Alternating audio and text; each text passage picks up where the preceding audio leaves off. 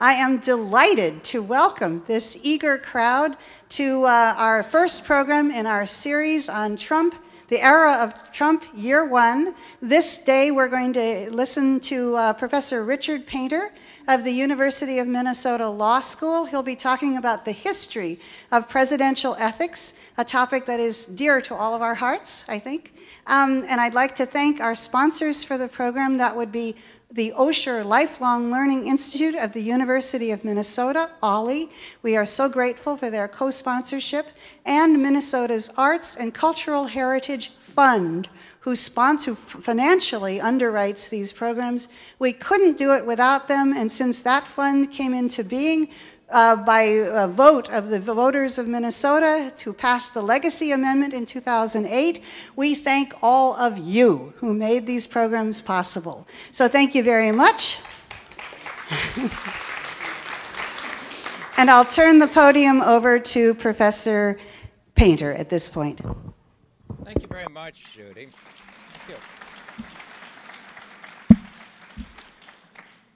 Thrilled to be here. I've uh, really enjoyed living in Minnesota for the past 10 years since I moved here in 2007 from my White House job. Uh, my family had not lived here in Minnesota um, here, before, but um, oh yeah, we're going to... Tell you, it's a, it's a wonderful place to be. The last person in my family lived here, my great great grandfather was the minister of the Plymouth Congregational Church and died here in 1884. But then I, I came back uh, in search of uh, uh, Minnesota nice ethics. I put in two and a half years as a government ethics lawyer. Before that, I lived in Illinois, and actually, I grew up in Illinois as well. And then I went back uh, to teach at the University of Illinois in Urbana Champaign. Illinois is a great state, um, but we had a few governors who um, uh, served time. I. Uh, I got there at age 10. I believe I remember moving to Illinois. There was a Governor Dan Walker. He eventually went to jail. Uh, and then, um, uh, you know, we always said about Illinois that we, um, uh, you know, we had at one point just a couple of years ago a Democrat and a Republican governor who were serving their terms concurrently. Uh, and then Governor Ryan got out. Um, uh, so, uh, uh, you know, every state has its issues. Uh, I won't even get into New Jersey politics. Uh, I practiced law in New York for a number of years. but I'm, I'm thrilled to be here, and I've loved teaching at the University of Minnesota. the law school is just such a wonderful community. I live in Mendota Heights now, uh, and um, am uh, watching what's going on in Washington with increasing dismay.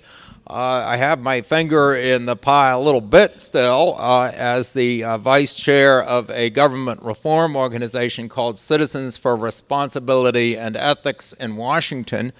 Uh, and uh, I would be happy to discuss with you later on here some litigation that we have uh, pending against certain holders of high office.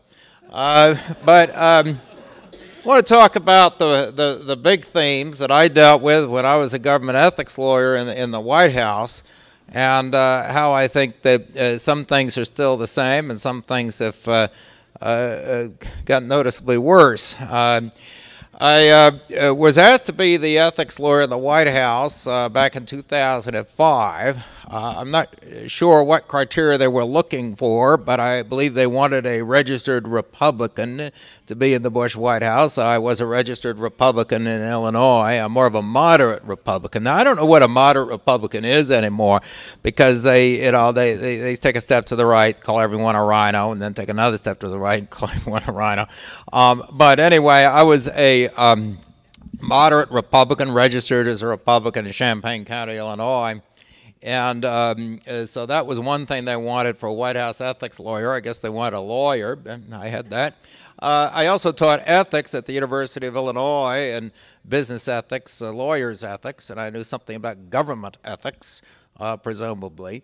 Um, but I think what they were most interested in is someone who understood the ethics problems of uh, very rich people, uh, because that, that the large numbers of the presidential appointees to senior positions uh, in uh, any administration. It was true of the Clinton, the Obama administration as well. Um, uh, not all of them, but a lot of them are uh, very wealthy individuals with significant financial holdings that present uh, conflict of interest problems. Now, back in the Bush days, we were dealing mostly with people in the, uh, you know, millionaires, 10 million, 100 million dollar category. Uh, now, I guess you've got to be a billionaire to be a real player in this administration. Uh, so there's been some inflation in that regard. But um, what they wanted was someone who understood business and finance. And I have taught corporate and securities law and mergers and acquisitions and all that Wall Street type stuff for many years. Uh, so I uh, could sit down with someone like Hank Paulson, the uh, former head of Goldman Sachs, and explain to him what he needed to do to become Treasury Secretary. And I'm the one who had to break the bad news to him. He knew it already. He was smart enough to know it already that he would have to sell all of his Goldman Sachs stock. Yes, all $600 million worth of Goldman Sachs stock. I, I felt bad for him. Um, I'd never been in this type of situation before, uh, but I, I, could have empathy, I guess. Um, and uh, I explained to him very qu quickly that if you sold the Goldman Sachs stock to avoid conflicts of interest, because the ethics lawyer told you you had to, you could actually go to the Office of Government Ethics and get a letter, which is called a certificate of divestiture, which said the ethics lawyer made me sell it. I didn't want to sell it, but he made me sell it. And then you give that to the IRS, and instead of paying your capital gains tax, you get a deferment of the capital gains tax. You just roll over the, the Goldman Sachs docket as something else. Uh, sort of uh, the uh, you used to sell a house, so you could buy a new house and just roll over the old basis, and you don't pay the capital gains tax until you sell the whatever it is.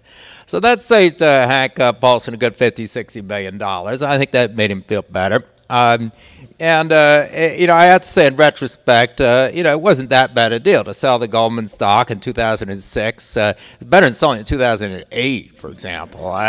and uh, uh, so we went through this with a lot of people. Now, some people said they didn't want to. Um, uh, to serve in the government if it required selling off their assets that created conflicts of interest. Uh, they might have um, a stock option still outstanding with their company they were CEO of, and uh, they couldn't exercise them yet. And I was telling them they'd have to walk away from those options and say, well, that's 150 billion dollars or something. I said, well, yeah, but you've already got five or six hundred billion. Do you really need the extra? Yes. Okay. Well, then, you know, we'll interview someone else for the job. And we always explained that, of course, everybody in the administration followed the same rule, including the President of the United States. Uh, uh, George W. Bush. He, he had divested himself of a, of a baseball team, uh, as we might recall, and he did have that ranch down in Texas, uh, but um, he didn't have other uh, uh, conflicting assets. We never considered opening up a hotel in his name or anything like that. Um, and he. Um, he, uh, he was following the same rule. Now, the actual law is that it is a criminal offense for any person in the executive branch of the United States government to participate in a government matter that has a direct and predictable uh, effect on their own financial interests or the financial interests of their spouse and certain other entities. That's a criminal offense. So the Treasury Secretary, if he owns Goldman Sachs stock, if he makes a decision, uh, participates in a matter that has a direct and predictable effect on Goldman Sachs, that could be a felony, a violation of 18 United States Code 208. And uh, uh, yeah, the accommodations in, uh, in the Club Fed are not exactly like a Trump hotel. That's not where you want to go. So everybody understands those are the rules. Now, it is true that there are two executive branch officials who are not covered by this statute. Uh, and uh, nobody ever really talked about that because those two officials, the president and the vice president, uh, acted as if it did apply to them on the theory that it, it, really doesn't look good to have the boss doing whatever he wants to do or she wants to do. Well, guess what? Everybody who's working for the boss would commit a crime, a felony, if they did the same thing. Uh, so we never really talked about that much, that this statute does not apply to the president. Now, President Trump says, well, gee, I didn't know about that, but this is actually pretty neat. The president can't have a conflict of interest. And so, well, no, that's not exactly right. uh, the president can have a conflict of interest. There are some legal provisions that apply to a conflict of interest that the president has, but this particular criminal statute that applies to everyone else in the executive branch does not apply to the president. Uh, it's just that other previous presidents have voluntarily avoided financial conflicts of interest and have conducted themselves in the same manner as everyone working for them. Uh, just as previous presidents Richard Nixon have felt that every April 15 they should disclose their tax returns uh, to uh, the American people. Uh, so, for example, if they were to propose tax legislation that involves certain deductions and so forth, or benefits for real estate industry, whatever it is, uh, you know, you would know what conflict of interest the president might have in proposing that legislation. Um, it's just there's certain norms that we've had across Democrat and Republican administrations, at least until recently. Um, so that was a large part of my job, dealing with people coming in uh, who were appointed to executive branch positions and, and cleaning out conflicts of interest, telling them what they had to sell in order to avoid the conflicts of interest.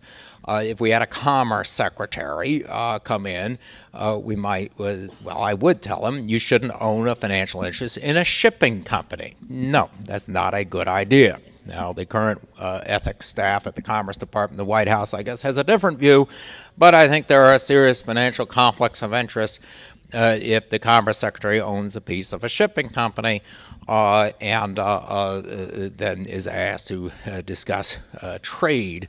And once again, that criminal conflict of interest does, the statute does apply to the Commerce Secretary. So if he chooses to hold on to the shipping company, as Wilbur Ross has apparently done, he better be very, very careful because that uh, could very well participate in a matter that has a direct and predictable effect on the shipping company, could be a criminal offense. Now, you could say, well, you could always say, well, pardon me, Mr. President, but I don't think that's exactly the approach we want to have to ethics. Uh, that people do whatever they want and then just go to the president uh, for a pardon. The reason I bring that up is I was very distressed about two weeks after the election when I uh, got on an NPR interview um, on the telephone and uh, was talking about conflicts of interest in these criminal statutes. And then they put Newt Gingrich on, the former Speaker of the United States House of Representatives, uh, uh, to argue with me about this. And he said, well, the president can just pardon anybody who does anything uh, that violates any of this stuff, uh, this ethics stuff, or I guess anything else. Uh, that may technically be true, but it's the type of resolution uh, that I think would likely lead uh, to a constitutional crisis. We have rules uh, in the government, and the financial conflicts of interest rules are critically important uh, to the well functioning of our government. And that was a large part of my job in, in the White House. Now, we also have rules when people leave the government. Uh, you may not lobby back to the government on the same particular party matter that you worked on when you were in the government. Now, if it's just a regulation or something like that, you could do it. But if it's a particular party matter, such as an investigation, you can't lobby back to the government trying to influence the government on behalf of other people on the same particular party matter you worked on when you were in the government. That's 18 United States Code 207. So, for example, just hypothetically, if there were an investigation going on into alleged collusion, it may well be fake news, but alleged collusion with Russia, uh, just hypothetically, and the FBI were to be conducting this investigation, and you were in the White House, and you were sitting down with the president to talk about whether to fire the FBI director in connection with this investigation or in some other way got involved personally and substantially in dealing with the White House response to this particular party matter, this investigation, uh, and then you left the White House and went and worked for, let's say, Breitbart News or some other place, um, it, it, it, it, might very well violate the statute, 18 United States Code 207, to pick up the phone and try to influence the president or someone else at the White House, pressuring them maybe to fire the new guy, Robert Mueller, or whoever it is, uh, because this is the same particular party matter you participated in personally and substantially when you were in the White House. Not a good idea, Mr. Bannon. Um, also, uh, if you're a senior employee of the White House, you actually have a one year ban on lobbying back to the White House to change their mind on anything uh, if you're lobbying on behalf of other people. Now, for example, other people might be targets of the investigation. Mm-hmm. Uh, not a good idea. So these are the revolving door out rules uh, with respect to lobbying back to the government. When can you do it? When can you not? I explain this to people in their exit interviews, telling White House staff we expected them to go and behave themselves because we don't want to have to visit them in jail. Once again, these are criminal statutes. Um, and then uh, we had the discussion of what do you do when there is a pending investigation. Uh, well, uh, I have to say the Bush administration had some difficulties in this area. Uh, most of the difficulties, of course, were before I got to the White House. Uh, and also, I want to uh, emphasize that I did not give advice. I was not allowed to give advice to the vice president's staff uh, or, uh, or, anyone associated with the vice president, including Vice President Cheney. He had his own staff, including a chief of staff, Scooter Libby, who uh, believed that you know creative testimony in front of a grand jury was well maybe uh, what he was going to try, and it didn't work out so well, and he got hit with a perjury conviction. Well, when he was uh, criminally charged, left the White House uh, uh, President Bush asked me to give a briefing on ethics and also the handling of classified information. There was a uh, concern about abuse of cl- classified information to the entire White House staff. And so we brought people in in uh, groups of maybe about the size we have here, but we had the whole White House staff. So I think I gave about seven or eight of these lectures. And of course, uh, I didn't start off with it, no, you don't lie to a grand jury. That's pretty obvious. Uh, uh, but uh, we would discuss how do you handle an investigation? No comment.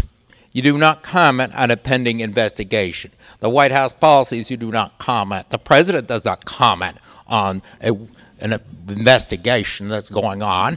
I mean, can you imagine President Bush, President Clinton, and afterwards President Obama going out there and commenting on an ongoing investigation by the Department of Justice or the FBI. No, the president doesn't do that. He doesn't tweet about it or all that kind of thing. Of course, we didn't have Twitter back in those days. Um, but uh, uh, and nobody else should be commenting on an ongoing investigation. You also do not discuss an ongoing investigation uh, with the Justice Department. Why? Because someone's going to accuse you of obstructing justice. I mean, if you did something crazy, they call up the FBI director and say, come on, you know, I want to make sure you're being loyal to us or whatever. I mean, that's not a good idea because somebody's going to come along and accuse you of obstruction of justice, and we don't need that. We've been through this with President Nixon. Uh, I think the evidence that President Nixon was himself tied to the Watergate break in is quite thin. Uh, but people working for him were tied to the Watergate break in.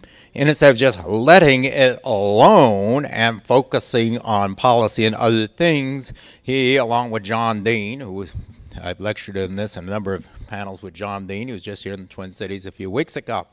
Uh, John Dean, his White House counsel, they got themselves in a big mess called Watergate which got much worse because of the inability of President Nixon to just let it alone, let the investigation run its course. Whoever is responsible for the break in at the Watergate, yep, they get in trouble. Some other people get in trouble. Some people may go to jail, but it wouldn't reach up to the president. And I'm convinced that he would have been just fine on that if he had let it run its course, which he did not.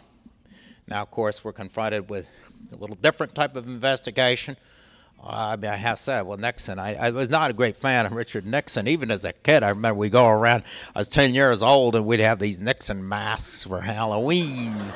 Um, and I, I remember the Democrats would give us lots of candy, and the Republicans would just a glare. Um, uh, that was back in what, 73. I mean, he was, it, was, it was getting bad. Um, but um, uh, you know, well, look, at least he was our crook. I mean, we didn't have the Russians do the Watergate break-in. Uh, it wasn't a KGB job. Uh, it was actually really, really amateur job, I gotta say. When you talk about breaking into the Democrat headquarters, and they didn't even know what they're doing. They couldn't get the masking tape on, figure it out right. Um, uh, you know, it's not like high tech computer sleuths working for the as a safer for the KGB or anything. But uh, you know, so we have a somewhat similar situation. I think much more serious today uh, because of the Russia involvement in break into the Democrat computers. Um, much more serious from a national security vantage point. But the answer from the White House should be just let it alone. Let the FBI do their thing and figure out who was responsible and then if anyone colluded with the Russians and violated criminal law. We could talk about what criminal laws might apply or might not apply. Uh, uh, just let the investigation run its course. But that doesn't seem to be the attitude uh, today. Um, uh, so we're a number of things I think have changed significantly uh, under the Trump administration. But I can complain about President Trump ad nauseum. I'd be love to take your questions, have a discussion about my concerns with respect to this administration. But one thing I want to emphasize is that the uh, problem of corruption in government did not start with President Trump, will not end with President Trump, whenever that might be. Um, it, the problem of corruption in government is a large part of it is the revolving door in and out of government. People going from uh, uh, private companies or unions, whoever it is, into the government and then back out again. The revolving door problem. Uh, but the biggest problem is campaign finance. It's the money and the politics uh, that has corrupted our system. Um, and it's something that everybody ought to worry about. I mean, liberals, conservatives, moderates, everybody ought to worry about a system where a tiny percentage of the people, uh, and a lot of them may not even be Americans, are uh, participating in um, uh, choosing the candidates. And the candidates develop a dependency relationship uh, on uh, uh, concentrations of wealth that may be all over the world. And then every November, we're asked to make a make a choice between uh, two party candidates, uh, uh believing that uh, uh, they, the, the candidates are beholden to the American people. And, and they're not going to be if their ability to get reelected, their ability to keep their job, turns not on their appeal to the public as much as their appeal to financial backers, contributors to their campaigns, contributors to the organizations that run issue ads that really are backup for the campaigns. Um, and it's a serious problem. I spent a year away from Minnesota out east to Harvard University, uh, uh, paid my salary here in Minnesota uh, to uh, write a book on uh, campaign finance and why political conservatives should be as worried about campaign finance as liberals. Now, I say more of a moderate Republican, but I, would worked with a lot of people who are very conservative.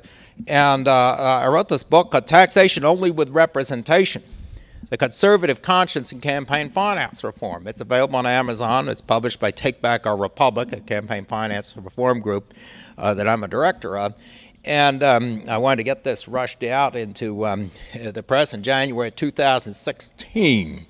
Uh, it's interesting. This I published the book in January 2016. Wrote most of it in 2015 on this grant from Harvard University, and uh, I don't know if I even mentioned Donald Trump. I thought, gee, that by the time I get this book out, that we would have forgotten about him. Well, gee, am I wrong on that?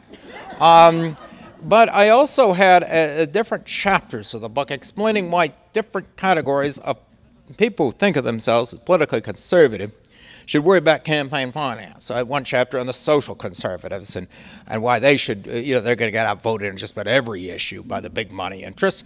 Um, but then I had a chapter on uh, uh, people concerned about our national security uh, and our independence as a country. Uh, and I pointed out uh, that this was a concern of the founding fathers, that our country could be manipulated by foreign governments uh, and foreign interests with uh, very extreme concentrations of money and they, they addressed this, and uh, they tried to address it. And one provision of the Constitution, in particular, called the Emoluments Clause, I'll discuss this, that a little bit more here at the end of my presentation, um, uh, where they prohibited uh, a person holding a position of trust in the United States government from receiving uh, presents or profits or benefits from foreign governments. but the founders um, uh, were very worried about our politicians being beholden to foreign governments. That's what this Emoluments Clause is about. They didn't envision, of course, our system of campaign finance uh, evolving the way it did. Uh, but I start out this chapter in my book talking about how the founders worried about this problem uh, the extreme concentrations of wealth uh, uh, in the European, great European powers, Great Britain and France and Austria-Hungary, and there's a fourth one, uh, Russia. Oh yeah, yeah, Russia. Yeah, we'll talk more about them. But they they've been playing this game for centuries of manipulating what goes on, and usually in neighboring countries, uh, and getting involved in other countries' governments. Um, and uh, they didn't want any of that going on over here. Well, in this book, I, I, I shift focus very quickly to campaign finance. Uh, and um, uh, we now have a global economy uh, where there are many corporations are controlled overseas. Uh, our corporations, of course, uh, control subsidiaries overseas. But capitalism is global capitalism. Uh, and uh, so, if we believe, as the Supreme Court of the United States says in the Citizens United opinion, that uh, corporate wealth has free speech rights equivalent to individuals because corporations are persons, if we buy into that logic of the Supreme Court and Citizens United opinion, well, we just have to accept the reality that what this means is First Amendment rights uh, to influence elections, to create dependency relationships with politicians, First Amendment rights, free speech rights, supposedly, that will be vested in corporate interests that are not necessarily American, because capitalism is global, uh, and that's the world we live in. Uh, and uh, uh, and this is where I really try to needle uh, some people in the uh, right end of the political spectrum, saying, well, you know, if you really want world government in the United States, this is the way to do it. Let's just keep on going down the Citizens United path, and other countries will choose our government. Now, I mentioned Russia a little bit, but I was thinking of the extreme concentrations of wealth in China and the Middle East and other places, and the enormous potential influence that foreign governments could have on the United States through corporate campaign expenditures. Now, I never envisioned all the strategies uh, on Facebook and and uh, Twitter, and uh, uh, uh you know that, that the Kremlin apparently is well well ahead of uh, many of us. but I envisioned a lot of what they could do to get money into the system, corporate money. now, of course, it is illegal say uh, my, those who contest this point, they say it, well, it is illegal for foreign nationals to contribute money to American political campaigns. It's illegal. There's a law against it. And Citizens United does not give foreign governments or foreign nationals or foreign corporations those same free speech rights as the American corporations have. Indeed, the District of Columbia Circuit said exactly that. This does not extend to foreign companies. So it's still illegal. It is absolutely illegal for foreign nationals to contribute anything to American political campaigns. It's illegal in the state of Minnesota to drink under the age of 21. Okay? Mm-hmm. Well, I think I figure out, uh, uh, and Vladimir Putin is a lot better than I am at this, uh, how to get money in American political campaigns, and it's a lot easier than it is to keg, get a keg of beer in a freshman dormitory at the University of Minnesota. Uh, it, it, it, this is a leaking sieve here uh, with respect to campaign money. And uh, the Supreme Court of the United States is not helping uh, through the Citizens United opinion. Um, campaign finance is a very challenging issue. Uh, I think we have a very good approach to it here in Minnesota uh, with the tax credit. Uh, so we get small dollar donors in.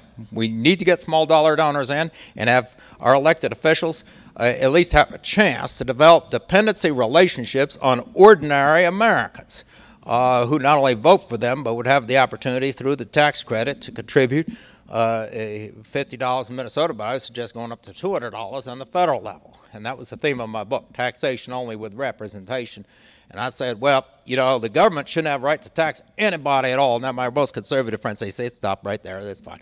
Um, said, no, unless that person has had an opportunity uh, to uh, designate the first $200 of his or her taxes to support a candidate or candidates of his or her choice in, in an election. Um, and that that'll be a fundamental right of a voter, of a citizen who's required to pay taxes. A meaningful voice, again, to pick the political leaders who are going to spend or waste or I whatever they do with the rest or, or uh, give it to uh, uh some uh, contract.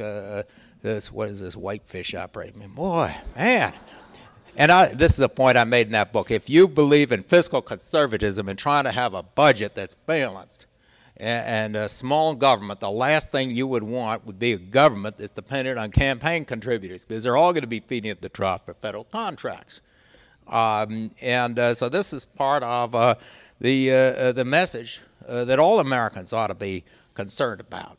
Uh, and then on my book, I put a, a drawing on the front cover of, uh, I, of course, I got to keep that Tea Party image, you know. So uh, they're heaving the, the crates of money off the uh, off the boat there in Boston Harbor. Uh, that's the campaign money. We actually went and reenacted that at Boston Harbor about a year and a half ago. I went out there on tax day with Take Back Our Republic, and we had some big crates uh, with dollar signs on them, heaving them into the harbor, and we gave a few speeches. It was sort of fun, but I don't think it had much impact. Um, so anyway, now the last thing I'm going to address, I want to have a conversation here, uh, hear from you, is this emoluments clause of the Constitution. Nobody ever heard of that uh, until recently. Uh, well, I'd written about that in this book uh, because I traced the, the concern of the founding fathers about foreign influence, uh, but I was focusing more on campaign money and how foreign governments would uh, get all this campaign money into the system. Uh, but I'd done my research on the emoluments clause. And um, uh, so uh, when I heard uh, that actually the Republican Party was going to take uh, the nomination of Donald Trump for president seriously, um, uh, I'd done some things here in Minnesota to try to try to avoid that in the Republican caucuses, but it didn't work out that way. so. Um, uh, you know, I said, well, we could have a potential problem here. This is the summer of 2016, and I started talking to the newspapers about it. Uh, we could have a problem with this Trump business enterprise uh, because uh, they're doing an awful lot of deals all over the world, and they could have some sovereign wealth funds who have a piece of the action. Usually, that is part of the deal when you do the business deals in the Middle East and some other places. And then also, there's the question of bank financing. Um, it, I used to practice law in New York back in the late 80s, early 90s, and I'd worked with some real estate people. Never did work with uh, the Trump organization, uh, uh, but I knew lawyers who had represented Donald Trump, and I knew how real estate deals work. And uh, you use a lot of debt in real estate. You know, maybe 80, 90 percent of the value of the business is uh, is debt capital. For example, the Trump Taj Mahal Casino down there in New Jersey. He had 90% debt he put in 10 cents on the dollar. Uh, the rest of it's bonds and banks. Um, and I watched those deals happen, and then I watched them unwind. And the banks didn't do so well. The bondholders did even worse, right? Yep. Uh, the Taj Mahal, he never went bankrupt. The Taj Mahal went bankrupt. The corporation went bankrupt. The point is, all that debt's at the corporate level. It's not personal debt of the person who owns the real estate business. and never is. You don't want to be personally liable for all this stuff. You put it down at the corporate level. The Taj Mahal, uh, uh, Trump Casinos Inc., or whatever it is, they borrow all the money. And then if it goes bust, it goes bust. That's the bondholder's problem. And there's a famous Third Circuit case on that. We've taught for 25 years in securities law Third Circuit Court of Appeals said, well, you know, the bondholders should have known, known what they were getting into. They trusted them to get paid off, and now they're whining to the court. They, they should have known what they got into. And I saying, yep, voters are the same way. Huh? But uh, uh, so we've gone through all that back in the 90s. Uh, but then the question is, who's loaning the money? Because the, the problem with the New York banks is they um, they sort of like getting paid back, and if you don't pay them back, they don't loan you more. That's generally true with bankers. Um, And so the New York banks weren't, weren't shelling out a lot of money for the Trump organization. Well, who is? We had some of these same issues over at the Kushner operation. That was a little bit of a different problem because the old man had gotten the jail time. Uh, some banks have a problem loaning to convicted felons, and so you had to have uh, uh, Jared go in there in front for his dad. He could get some money, but also there uh, a need uh, uh, to go to maybe alternative sources of financing. We just simply don't know. We don't know where the money comes from. Uh, with respect to the Trump organization, with respect to parts of the Kushner operation, uh, because it's privately held. And this is the way privately held companies work. It's private. It's nobody's business. Uh, if it's a public company like 3M, you can find all about their uh, st uh, financing structure, where they're borrowing their money. Just look at their annual report. It's on the Securities Exchange Commission webpage. That's public information. But a private company is just that. It's private. It's nobody's business. Now, I would say I have an exception to that. If you become president of the United States, it should be people's business uh, because of financial conflicts of interest and because some of that money might be coming from sources uh, that create serious conflicts of interest and could indeed be unconstitutional. Now, uh, the money would be unconstitutional if it came from a foreign government or an entity controlled by a foreign government, such as a bank controlled by a foreign government for example, the Bank of China. And we did find there's one mortgage, apparently they had a couple of hundred million in there at one point, um, and uh, uh, it may have been on the Trump Tower. That's a problem because the Emoluments Clause of the Constitution says that a person holding a position of trust with the United States government shall not receive a present or an emolument from a foreign government. Now, present, we know what that is, right? It doesn't have to have a bow wrapped around it. It can be any old sweetheart deal, you know? Yeah, I can dress up any old deal to be a present, just give you more value than I'm taking. So uh, uh, that's the first thing, is a present from a foreign government or a foreign sovereign wealth fund or a bank controlled by a foreign government is unconstitutional for anyone holding a position of trust with the United States government. The second is an emolument. Now, what's that? That's a strange sounding word. Well, um, it has a Latin root, emolumentum. Uh, means profit or benefit. Then the English word emolument was defined in Dr. Johnson, Samuel Johnson's 1755 dictionary as being a profit or benefit. Now, increasingly, the term was used in connection with profits and benefits received by people who hold a certain office and benefits and profits from that office, but is not limited to that, uh, certainly not in Dr. Johnson's dictionary uh, or in the original Latin meaning, and I don't think the founders intended it to be limited to payments received in connection with an office. It sounds awful lot like bribes if it's a, uh, the salary. Uh, now, the United States Department of Justice is currently taking the position, of course, that an emolument is only a payment in connection with an office. Uh, no, it is a profit or a benefit. Uh, that is a position uh, that uh, many of the leading constitutional law scholars take and that I am taking in the current litigation in the Southern District of New York against President Trump over exactly this issue. Um, uh, that the Constitution prohibits profits or benefits from foreign governments or entities controlled by foreign governments. For anyone, not just the president, anyone holding a position of trust with the United States government. And, and that makes sense. I mean, what's the point of having that uh, Boston Tea Party business and hauling all that tea and throwing it into Boston Harbor, making a big mess and having a revolution and everything, and then going to have a president of the United States is buying and selling tea with King George. And that's not uh, what the founders anticipated. Now, they do have an out there. They say, without the consent of Congress. So the Emoluments Clause does allow Congress to give permission to take the emoluments, the profits or benefits from dealings with foreign countries. So, for example, President Trump could go to a Republican-controlled Congress and say, okay, I'd like my emoluments. I uh, can't be happy without my emoluments and, uh, and so forth. And uh, uh, please give me permission.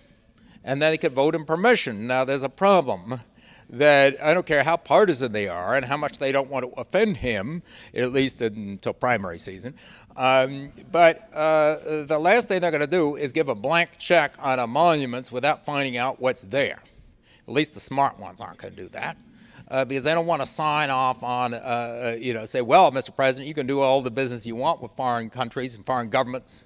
Uh, and entities controlled by foreign governments, and then along, you know, comes later on, there are a bunch of rubles sitting in there. That's not going to sit well with the voters. So the problem is the members of Congress would do what the founders anticipated, which is get the facts. And in this case, say, well, Mr. President, that's an excellent thing we're willing to consider. Show us um, tax returns, some other stuff. And of course, he hasn't even attempted to go to Congress as the founders anticipated an office holder should and get permission to receive the profits and benefits from dealings with foreign countries. He has gone, gone ahead and done it. Now, the attitude of the Justice Department is, well, first of all, emolument doesn't mean what everybody, most people say it means. Uh, it doesn't cover profiteering from dealings with foreign governments, and oh, and second, oh, organizations like Citizens for Responsibility and Ethics in Washington, what's that? They have no business suing in federal court, and we want them out. And that's what the Department of Justice has said. Uh, that is, of course, uh, paid for by uh, your tax dollars, supporting the Department of Justice in litigating against us. Uh, so we have brought this suit against the president. Uh, there's a debate over whether we have standing in federal court. There's another lawsuit brought by the Attorney General of the state of Maryland, the Attorney General of the District of Columbia, and Maryland Federal District Court, alleging the same thing. Now, they have a little different standing argument. The Attorney General of Maryland might have a pretty good one. This is a thing called the Constitution. It's a contract. States go into it. Maryland is one of the original signers of the Constitution, right? And it's a once you go in, you can't get out. It's like the Roach Motel, right? It's, we, we had that argument in the Civil War, right? Uh, well, if it's a deal, the state of Maryland goes in. Uh, how about if the president or anyone else is not upholding their end of the bargain with respect to complying with the Constitution? So that litigation is uh, pending in the federal court in Maryland. And another one is a whole bunch of members of Congress have sued saying, well, you should have come to us for permission and you never bothered to. And so they filed a lawsuit down in the uh, federal court in Washington, D.C. So we've got three emoluments clause cases pending. Um, uh, we got a lot of action going on in Washington these days. I mean, it's amazing. We had some interesting developments yesterday. Um, and of course, the Emoluments Clause litigation is related, maybe, to what's going on with the Russian investigation. We just don't know. Uh, to what extent is there any Russian government money involved? We don't know. We aren't going to find out until with the judges in one of these cases decides that the parties bringing the suit have standing and then uh, ask for the information. Uh, in a process called discovery and takes a look at the finances of the Trump organization. Now, there is another body in our government that perhaps should be doing this, and actually, the Justice Department is arguing this that this is Congress' responsibility. Mm-hmm. Yep. Now, I actually agree it is Congress's responsibility. Where I disagree with the Justice Department, I don't think it's only Congress's responsibility. And if Congress wants to sit on their backside and do diddly squat, uh, or investigate the same uranium deal that we are investigating a couple of years ago, um, or investigate some, some, missing emails from the State Department from 2012 or whatever. Um, you know, I don't know what they're doing in Congress, uh, but they aren't focusing on this issue uh, with respect to uh, foreign government money going to United States government officials through profits and benefits. They don't want to investigate. And the last time I ran into Tom Emmer in the airport, he told me this whole Russia thing was a witch hunt. Uh, now, he's not my congressman, so I, I, I kind of boot him over that. Uh, I'm not getting any response from Jason Lewis, who is my congressman. I don't know what he's focusing on. Um, and then we got some other Congress people out there who may or may not be focusing. Um, and uh, I think they got a job to do, right? And I think it's everyone here, you're responsible to let them know they got a job to do, right? Get it ready send them an email, uh, send them a tweet. Maybe that's the only way they respond these days, uh, is through Twitter. Um, and then if that doesn't work, I guess you got to send them a message next year in November. But let's try and get them focusing now because Congress has work to do. It's called oversight. And it would be good uh, for me, having worked in the Republican Party many years, to it'd be very good to see the Republican Party control of both houses of the United States uh, Congress and the White House and still conduct oversight to act like they ought to be and what the founders contemplated in the Constitution. Uh, Congress has an important oversight role. Uh, it's their job, and they need to do it. And a one-party rule doesn't work. Well, I guess there's an alternative, but it'd be it'd be nice if this weren't a partisan issue. It shouldn't be a Democrat or Republican issue. Uh, foreign governments trying to influence our politicians. Uh, that's an American issue. Uh, but I've talked enough about everything I have to complain about. Well, some of what I have to complain about. I don't want to go into too much detail. I'd love to get some questions and discussion going with you. And I can bring the microphone around, so if you want to raise your hands, I'll. Okay, I'll start with this lady. Are you an actual Republican? Well, I. Uh, here in Minnesota, you don't register. You just show up at the caucus and sign something. You say you believe in the tenets of the Republican Party. And I took my uh, my 12 year old son down to the Republican caucus in uh, in Mendota Heights because, uh, well, I wanted to try to avert a disaster. Um, and uh, we did our part here in Minnesota, I guess. Um, so I signed the document. Of course, I, I, always think about Abraham Lincoln and the history of the Republican Party there. I'm, I'm a moderate Republican. The Republican Party has changed enormously over the years. Um, and, and, the same with the Democrat Party. Uh, and we can look at the history of that. Um, and how uh, large chunks of the country that were solid Democrat uh, uh came into the Republican Party, had become quite solid Republican uh, look at the electoral map when Eisenhower won against Adlai Stevenson, which states went which way, and then compare that to Bush v. Gore, and it's almost like you flipped it around. Uh, uh, and uh, so the Republican Party has changed a lot. I'd like to see the Republican Party go back to its roots focus on a, a, smaller, more efficient government, but keeping, you know, running government like an efficient business, not a bankrupt business like an efficient business, keep the programs that Democrats have that work and make them work better, uh, and then uh, you know eliminate government programs that are wasteful. Uh, solve our campaign finance problem, which uh, Teddy Roosevelt, good Republican president, he was one of the first to focus on it. And of all people, Barry Goldwater was adamant about campaign finance being corrupt. A lot of things I disagree with Barry Goldwater on, but on campaign finance, he was right on point. He was also right on point about the influence of the so-called religious right.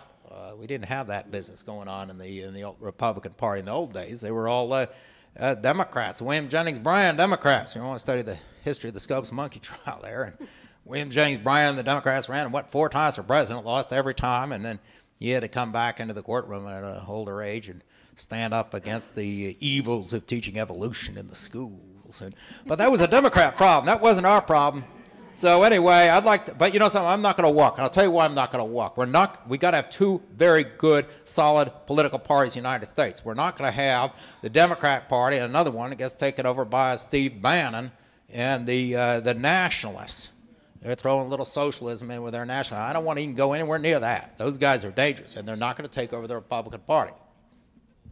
This lady has a question. I, I, um, this is going to sound cynical, but I actually had a night, a nightmare about this the other night, and I think that actually it's a concern, uh, which is that um, I, I, probably a lot of people in the White House and associated with the White House are not going to be there very much longer, and given well, we're maybe who, depending on your point of view, but uh, who's going to replace them? There's going to be so many who are going to be gone. I mean, seriously.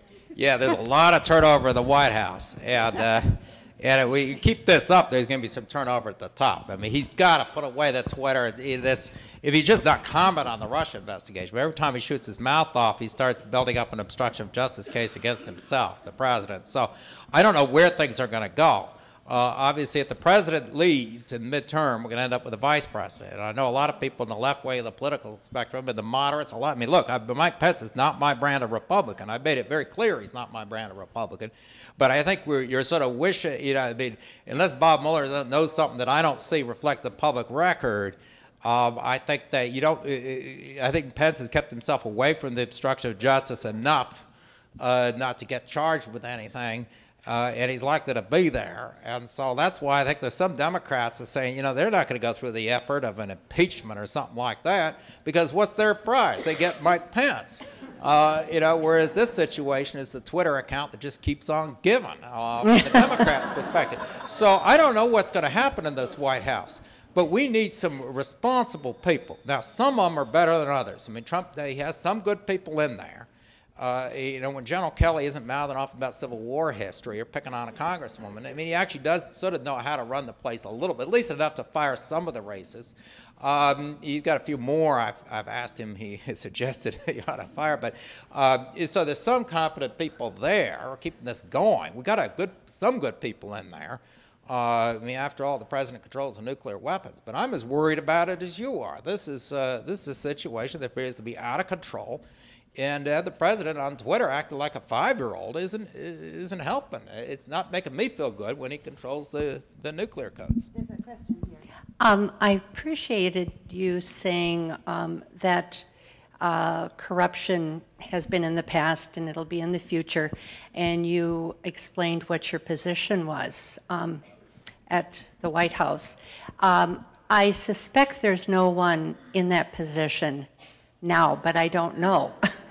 yeah, there is a lawyer who okay. is the White House ethics lawyer, um, and uh, uh, uh, uh, Passantino is his name. I mean, he hasn't done a lot other than write the Office of Government Ethics and write a letter. He wrote this letter to the Office of Government Ethics saying the ethics rules don't apply to the White House staff which is not the position we took. Uh, that is just wrong. And then we had some other problems with respect to whether Wilbur Ross, not Wilbur Ross, well, he's another set of issues, but um, Carl Icahn, uh, who, who, ought to be able to freelance as a uh, advisor of the president without being a government employee and not subject to criminal conflict of interest statute. So that was a wrong call. And New Yorker wrote that one up, and Icahn could be exposed to criminal charges on that. So uh, yeah, they've got somebody in there, but they've been dropping the ball. That's for sure. This lady has a question. Would you talk a bit more about your emoluments case? Yeah, the emoluments case is uh, brought by Citizens for Responsibility and Ethics in Washington against Donald Trump, the president, in his official capacity, seeking an injunction, asking the court to look at what payments uh, the Trump organization is receiving from foreign governments or entities controlled by foreign governments uh, and then uh, after the court finds out the facts, to enter an injunction telling the president which payments he can keep, which ones he can't keep. And then the idea is this will be run all the way up probably to the Supreme Court. And then the president would decide whether he's going to follow what the courts say or not. If he chooses not to, well, then he's likely to get booted. I mean, President Nixon even, you know, ultimately complied with an order of the Supreme Court to turn over the tapes. So the idea here is to get an injunction. Um, but the problem is that we need to show we have standing. We believe we do under the case law of the Second Circuit uh, to bring this uh, case.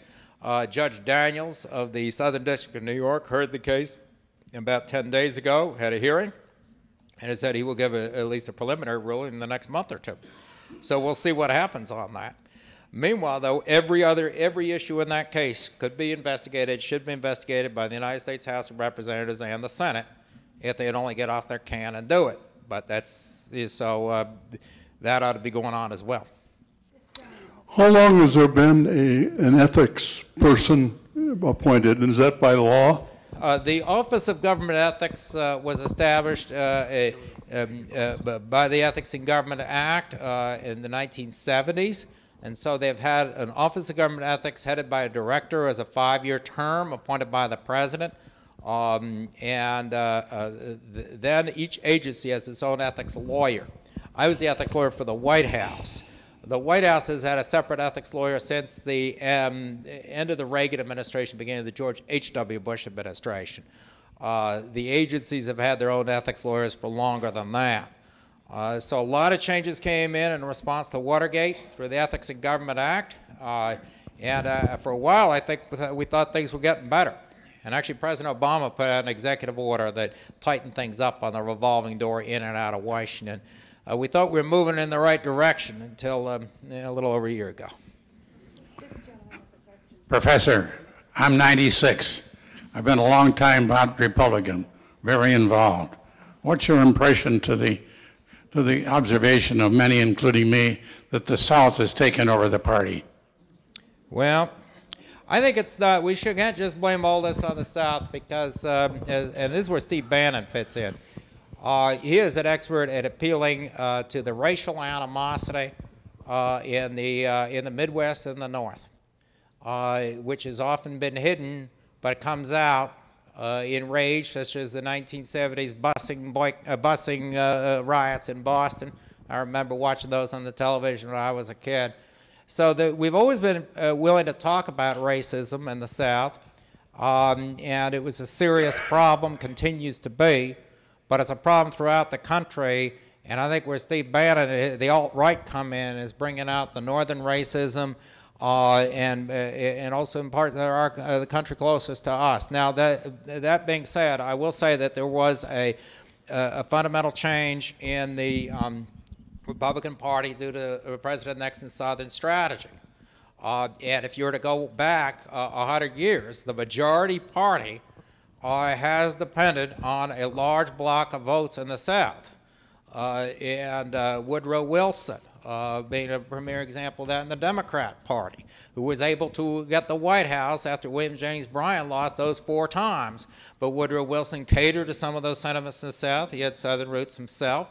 Uh, we know about that. President Franklin Roosevelt had to deal with it, and civil rights was certainly pushed to the back of the agenda. He had a lot more to deal with. President Truman started to contend with the issues.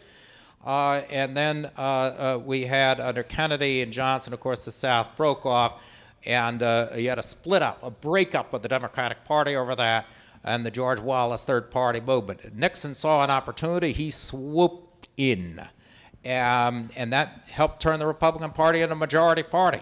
But that does create a relationship, a dependency relationship, with a lot of very powerful Southern politicians. And then Reagan solidified that by appealing to the religious right over issues such as abortion, uh, and that brought in a lot of people, and once again, up in that people uh, in the North and the Midwest as well. Uh, but it's created a fundamentally different Republican Party than the one that you were used to when you were younger, and even that I was used to when I was a kid. Uh, when uh, you know the, the position of the Republican Party on the abortion thing in 19 uh, right uh, under the Ford administration was either neutral, the platform was neutral, and President Ford made it clear he pretty much agreed with the Supreme Court. Uh, I, I, it was very sad. I went to his funeral. I was in the Bush White House and went to his funeral outside the National Cathedral. And had people holding signs there saying that President Ford was going to, you know, burn in hell or something like that because of his views on abortion.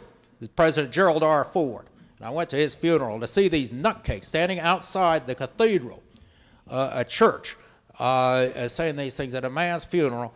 Uh, they're the same people who show up at these funerals, I guess, around, they're doing it down in Kansas. But um, uh, I thought, okay, they got a First Amendment right to say that, but that's not my kind of Republican. Yes, uh, Professor, I very much appreciate your remarks, and I have um, a two-part question about both your role as an ethics attorney in the White House as well as money and politics. One of the, the questions that I have uh, about the ethics issue is that it seems like the more ethics laws we have, hasn't really um, uh, done what it was intended to do, which is to increase the confidence and faith that the public has in elected officials and our government. In other words, we have a lot of uh, ethics laws, and yet the trust of government in government and elected officials mm-hmm. continues to deteriorate. And that causes me to be a little bit suspicious of is that a, a route, a meaningful route, to increase the trust and confidence that we have in government. And with money in politics, I, I have a similar point or concern. We have numerous examples, both locally and nationally, where well-funded candidates have lost miserably. Um, money in politics doesn't, uh, really hasn't impacted the diffusion of opinions that we have. The internet has done much of that. Mm. And so I wonder if we really constrain the money in politics, and I'd like to hear what your uh, uh, yeah. ideas are for that. But those are two concerns that I have. I appreciate your comment. Well, money in politics is a hard one uh, to deal with. And what I suggest is, first of all, get small dollar donors in through the tax credits. At least get ordinary people into the financing business through tax credits. It's going to actually save money in the budget in the long run because the politicians won't be dependent on the government contractors. Uh, uh, they'll at least have an opportunity to appeal to regular people for their $50 here in Minnesota. I suggest a $200 tax credit at the national level. Uh, so get more small dollar donors in. Second, get as much transparency as you possibly can with respect to where the money's coming from. We could get a lot more. You ought to know where the money's coming from 501c4 organizations that are running these ads. Those could be financed in the United States. It could be financed by the Kremlin, for all we know, because there's no transparency. Congress has refused to enact uh, laws that would require transparency, and that would not, I do not believe, would run into trouble at the United States Supreme Court. And then third, to the extent the Supreme Court will let you control what's going on with respect to the money, you do it. But we're up against the court on that one. Uh, but that's only one of the many ways to do it. What I would not do is put all of the eggs in the third basket and just focus on trying to get rid of Citizens United, particularly through mm. constitutional amendment. I'm old enough to remember the ERA, Equal Rights Amendment, for, for women. And uh, they, oh, well, that was a big fuss. People, of course, talk around about unisex bathrooms. But I remember this. I was in junior high or whatever at the time. Oh, gee, we passed the ERA, we're going to have unisex bathrooms. They always want to bring up the, the bathrooms if they want to make a big issue. Uh, same old story. The point is, getting a constitutional amendment passed is almost impossible, takes forever. And what do you get? You get rid of Citizens United, you get to go back to the wonderful world I had to live with under President Bush between McCain-Feingold when it was passed into law in 2001 in 2009 when the Supreme Court struck it that, that portion of it down. I don't think that was so great. So uh, I wouldn't just focus on Citizens United and the Supreme Court. They haven't helped. They made it a mess. Um, but we need to address campaign finance on all fronts. Um, I think the rules don't necessarily make things better, uh, but better off having some rules uh, and enforcing the rules we have. For example, the Emoluments Clause of the Constitution uh, and other rules, and not having White House ethics lawyers to write letters to the Office of Government Ethics saying, well, the rules don't apply to the White House staff. Um, uh, we're better off uh, with some rules and enforcing the rules. What I want to warn people against is cynicism um, that gets so intense that people can't understand their different degrees of corruption. Uh, because this is what happened in the Weimar Republic. There was an enormous amount of corruption and dysfunction in the Weimar Republic in the 1920s uh, up to the elections of, uh, of 1932, 33. But whatever they had was a lot better than whatever they got in 1933. Yeah. Uh, and uh, I think that if we become too cynical and we say, well, the government's all bought and so forth, everybody's corrupt. Uh, and uh, there are things I did not like about Hillary Clinton meeting with Goldman Sachs people. I had some problems with Hillary Clinton, I can assure you. But uh, we say, well, everything's corrupt, and then the next thing people are screaming, lock her up.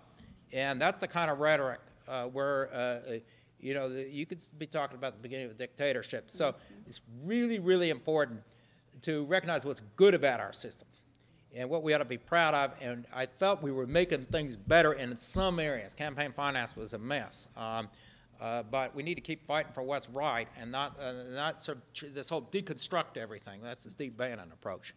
And uh, you know what they want to put in its place. It is not what we want. Thank, yeah, thank you very much for bringing the New York case, and I wish you the best of luck.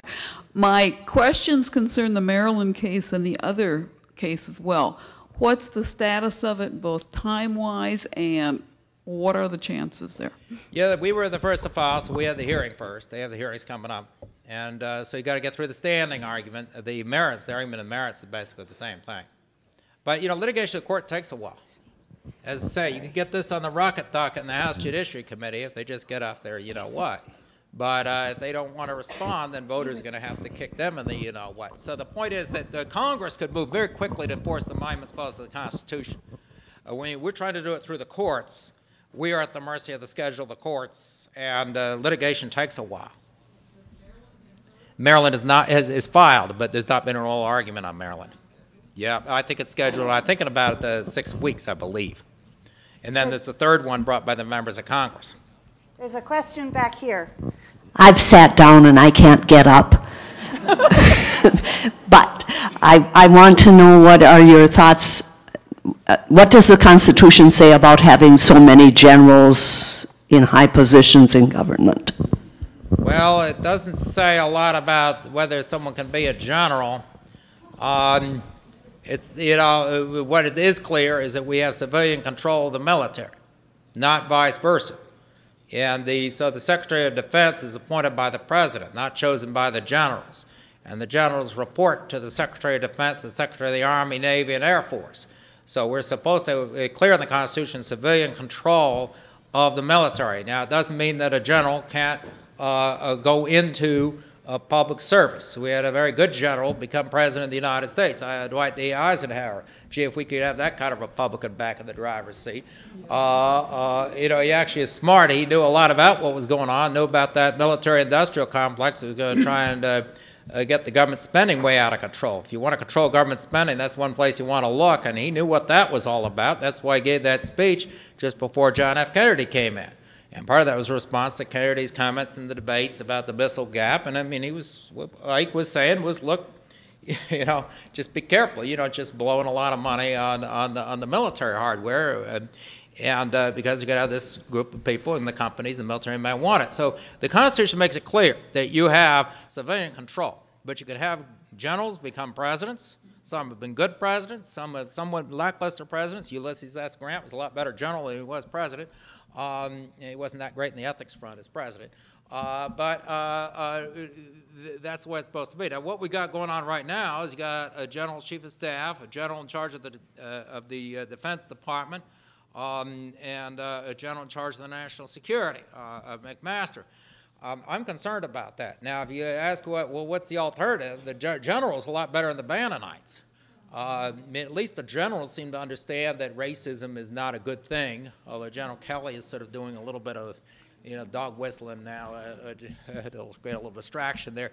But, um, uh, you know, that at least for a while there, uh, given the alternative, if it's generals who understand what's going on in the world versus, uh, you know, whoever these kooks are. Uh, I'd rather have the generals, but that's not what the founders contemplated is strong civilian control of the military. And right now, the civilian leaders in the White House are some of the weakest.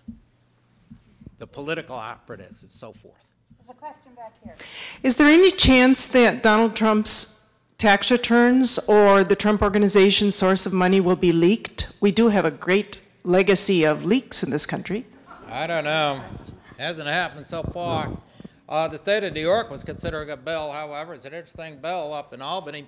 They'd say, well, anyone who files a tax return in New York who uh, assumes a position uh, in the United States government that's voted on by people in the state of New York or the state of New York, such as the governor, um, president of the United States, if you file a New York tax return and you assume that position, they'll just post it on the website. That'd be pretty good, wouldn't it? I think they ought to do that in New York.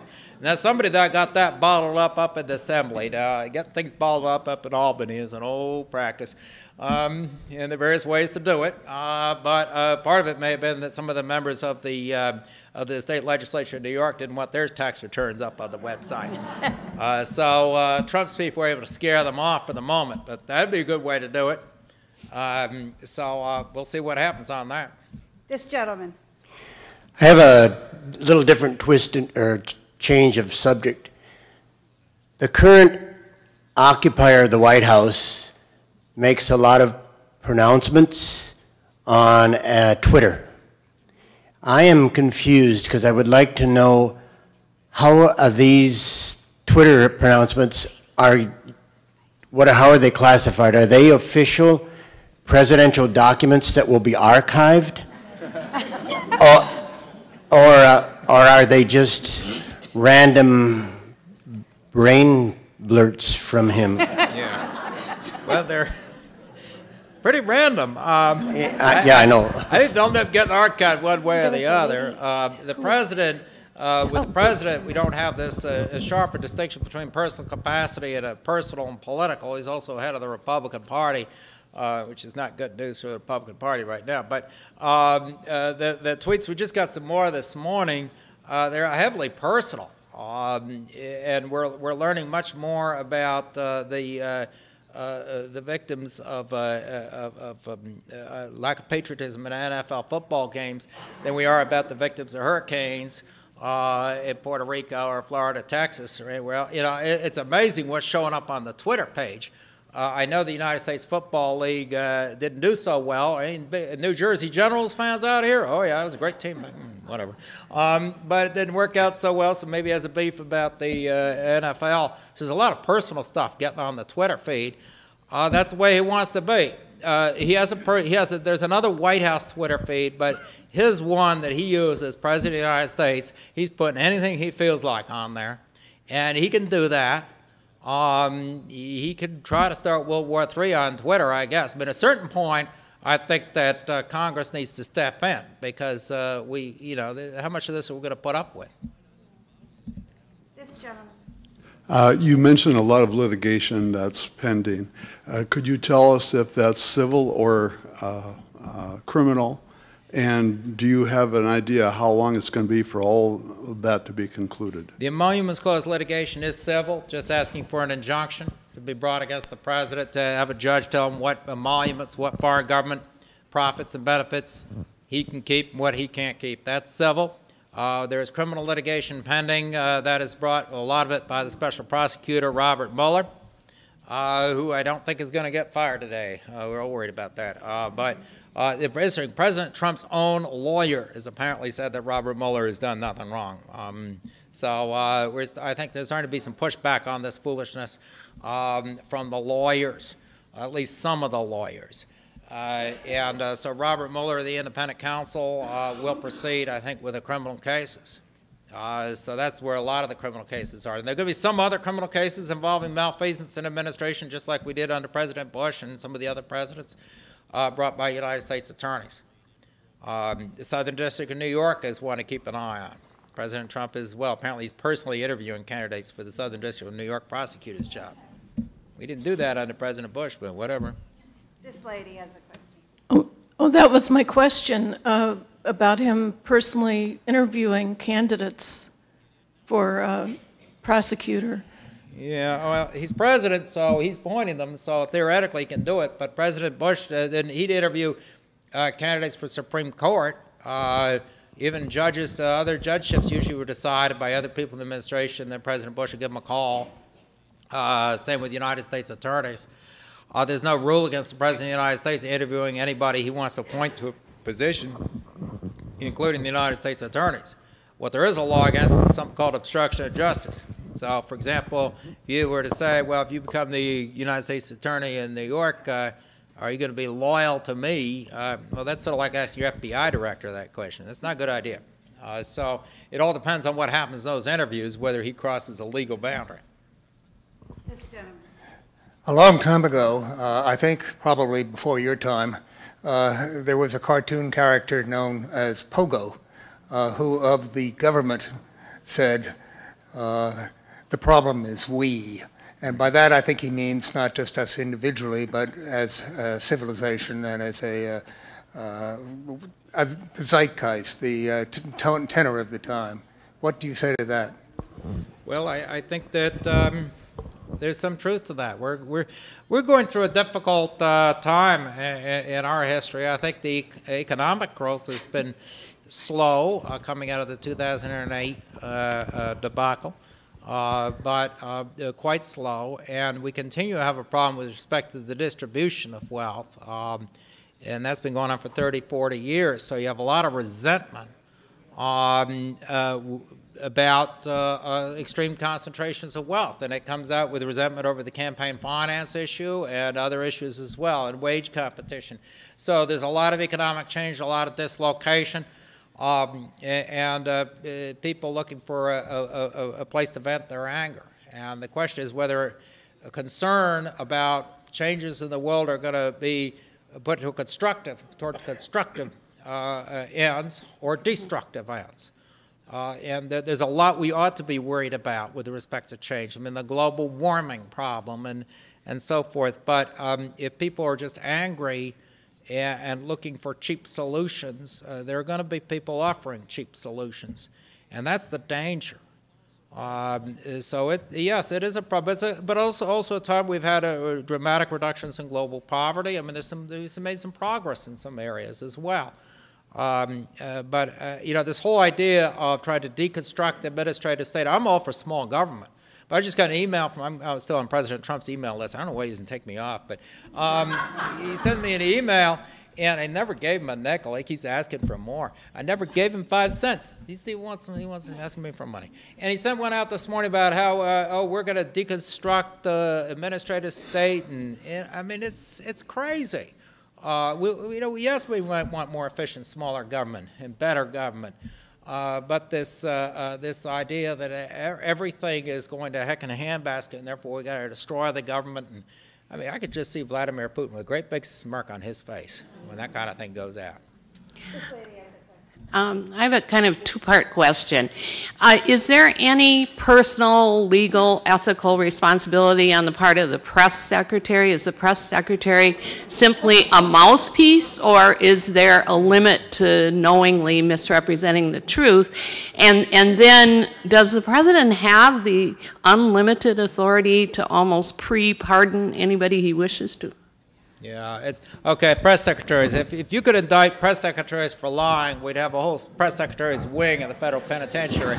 Um, now I got to say that you know the longest services um, sentences might be being served by some of the current ones. Uh, it's gotten worse. Uh, but what was interesting to me is I used to be a lawyer for public companies and do securities law. And if you're a spokesperson for a public company and you you don't tell the truth, and people trade that company's stock, you can get charged with securities fraud. And, uh, and I'd bring over securities lawyers into the White House counsel's office, and we look at what's going on in the press secretary's office, like, whoa. Uh, you know, the press secretaries could shovel a lot of baloney. Uh, now, the question is how much baloney, you know, where is our limit, uh, our tolerance limit? Uh, and it's, well, I just say it's been amazing, and it hasn't gotten better since uh, Spice. It's, you know, I, I don't know where, Huckabee or Spice or, I don't know, I don't get it. Um, I don't buy it. But, you know, but it's a tone set at the top. I mean, the president's putting out tweets that are full of baloney. I mean, eh, how many more times do I have to hear about crooked Hillary? I mean, I'm getting tired of hearing about crooked. It was it was uh, demeaning during the campaign to hear that, and now it's a year later. I'm still hearing about it. So yeah, they're going to talk. There's nothing you can do about press secretaries who lie, um, except for they ought to be fired. Yeah, could you comment on the appointees for the heads of government agencies? Are there ethical rules that apply to them? I mean, leaving aside that most of them seem to be against the mission of the agencies that they're overseeing.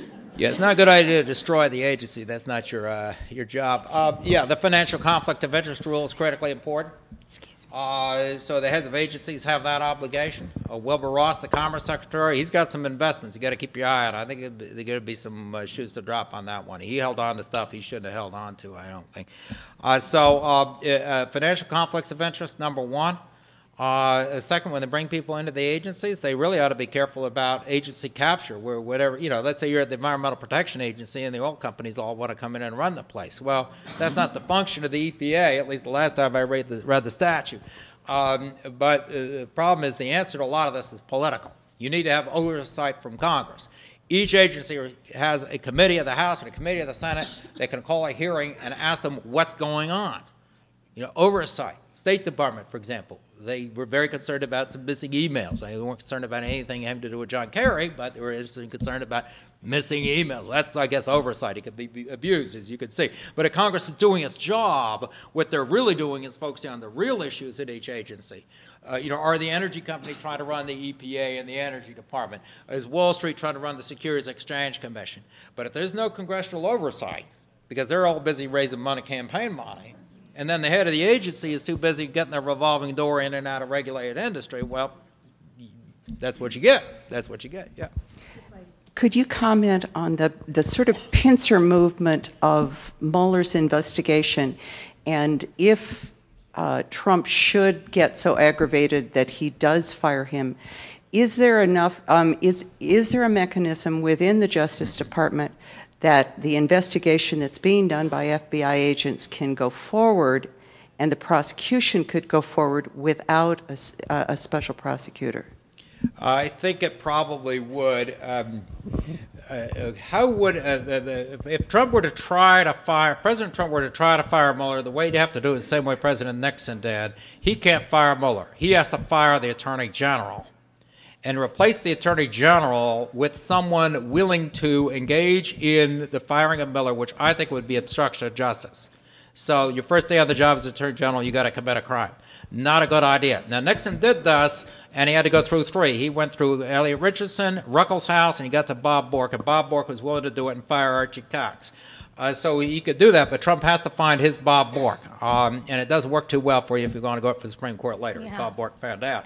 Uh, so um, you got to find someone who wanted to do it. Now, some people talk about Rachel Brand. I know her. She was in the Justice Department. Now she's number three. Uh, and I put out a few tweets. I said, Rachel, don't even think about it. um, so uh, that would be the strategy for him to mechanize. He could do a Saturday Night Massacre, but it, it, but he'd have to find someone willing to do it. Second, I think Congress would flip out and, uh, uh, and, and start impeachment proceedings if he did that, probably. At that point, I think the Republicans are going to say they're not going to go, they'd rather go into the 2018 elections with Mike Pence and get it over with than go in and irritate Trump's base than, uh, than, than put up with that. So you'd probably start impeachment proceedings. Third, the prosecution, what would happen? The Justice Department career lawyers would have an ethical obligation to continue their work. And a lot of career lawyers at the Justice Department know what's in Mueller's files. Uh, and then, furthermore, Mueller has been sharing information with the Attorney General of the state of New York, Mr. Schneiderman. Now, Mr. Schneiderman can only prosecute crimes under the laws of the state of New York. So some he might be able to prosecute, some others he might not be able to prosecute. But I'll bet he has a lot more than just that which he could prosecute. So that certainly would come into the public, uh, into the public arena, I would think, through uh, Mr. Schneiderman. So I think that Mueller is a very smart man. He's waiting for this day. Trivia fact, Robert Mueller actually went to the same high school as Archibald Cox. But let's just hope that is the only thing they have in common. I'd like you to play the prophet.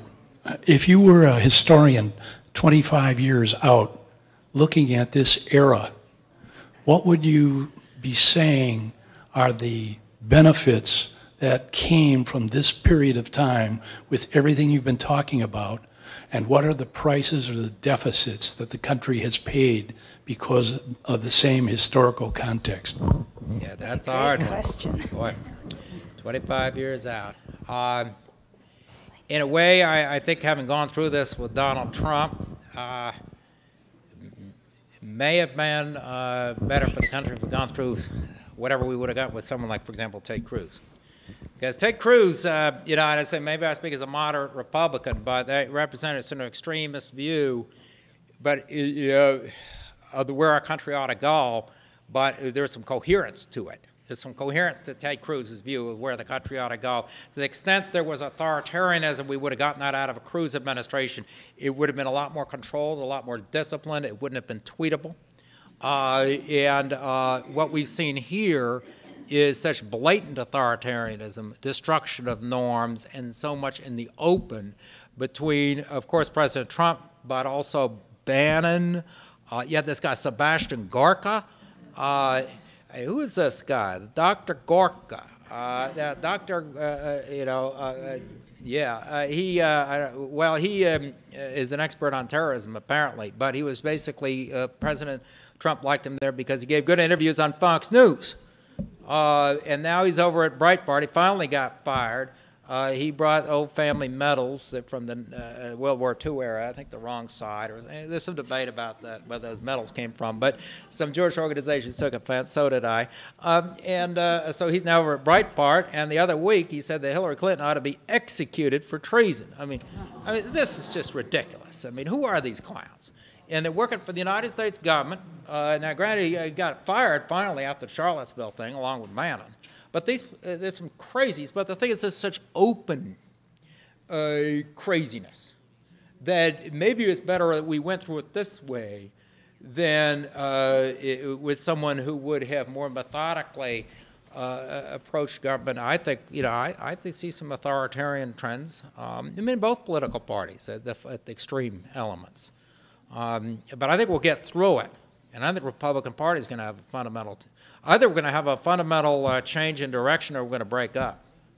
John Kasich is already talking about that. There's some, there's some noise being made about that. This lady has a question in the back here. I have an issue that's not traditionally defined as an ethics issue, but I think it's very unethical and has been brought to us by both parties. Both parties are, are guilty. Um, and that is the abuse of redistricting power and gerrymandering. Oh, yeah. That's that's a uh, uh, you know you look at some of those districts, uh, the way they're configured. it's like abstract art, like a Jackson Pollock painting. Uh, uh, you know, they come up with these weird districts. It has terrible impact on both political parties.